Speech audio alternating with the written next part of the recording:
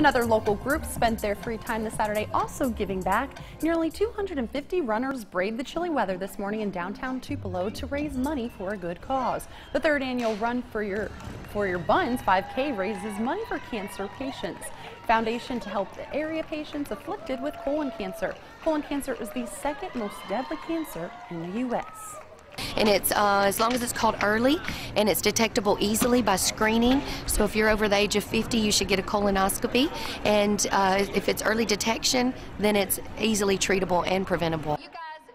Wilson says that if you are screened and nothing is found, you normally don't need another colonoscopy for 10 years. But if a polyp is discovered, they recommend to have one every three to five years.